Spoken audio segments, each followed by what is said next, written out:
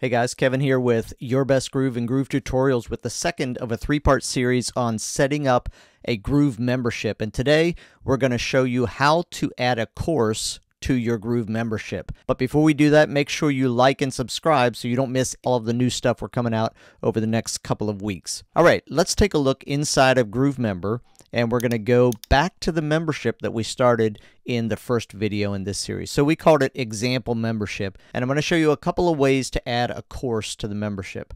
The first way is while you're inside the membership, you can go to manage courses. And what you're going to see here is any course that has been added to the membership. So if you created a course already. You had a course in another membership, you're going to be able to click the plus and say add course from library. And when you do that, you'll see all of the courses that you have available and we'll just choose this uh, build your lead generation machine. We'll say we're going to add this to this membership. So that's the first way to add a course. If you haven't created any courses though, you're going to follow these steps. So first, you're going to click create a new course. You're going to give it a title, a description. You're going to list the sales page for the course. So this would be the landing page where you want people to go if they're in your membership and they don't have access yet and they click the learn more button. This is going to be the page, the URL that you're going to send them to. So I'm just going to put a real URL in there. And if you have an instructor set up,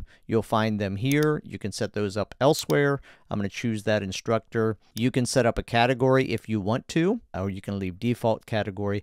And then you're going to use a featured image. And this is going to be the image that shows up on the course inside the membership. So you're going to want to create a course image and it's going to need to be around the 720 by 405. So I'm just going to click on this, choose. So I'm just going to say we're going to do a course on using video, even though we're not. And once you have that done, you're going to be able to click save and you have created your course. So once you have the course created, you're going to follow the steps to customize it. So you're going to use template number one or template number two, and those things are covered in the complete course in the Groove for Growth Academy that you can get access to. I'll tell you about that later. But what I wanted to show you today is how to create the course and or add the course to your membership.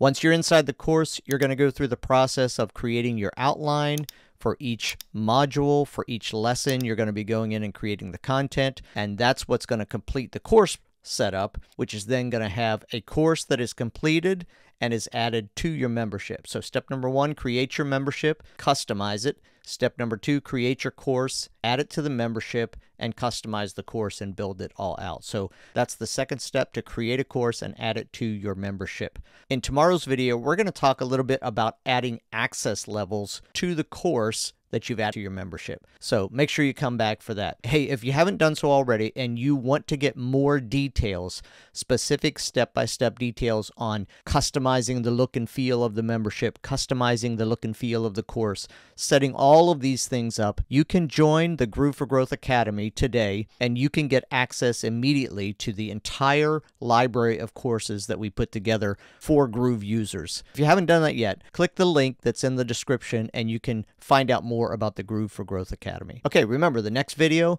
we're going to be talking about adding access levels